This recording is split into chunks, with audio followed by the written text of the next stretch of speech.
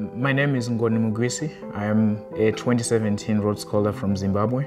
I'm studying a DPhil in electrical engineering. I applied for the Rhodes Scholarship because I couldn't resist uh, the opportunity to be part of a powerful legacy.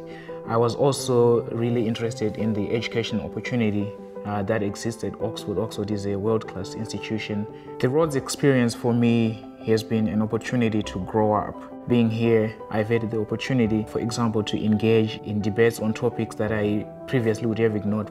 As part of my DPhil, I'm designing power electronics converters that can be used in microgrid systems, uh, with a particular focus on developing nations in the uh, sub-Saharan Africa.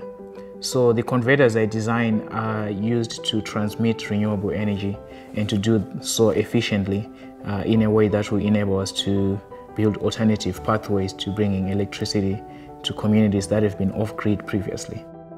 What has surprised me about the Rhodes Scholarship is how real and genuine a lot of the scholars are. Uh, real people with real struggles and with real passions and real fears and a lot of them were similar to mine so we're able to share what I'd like to call humanity.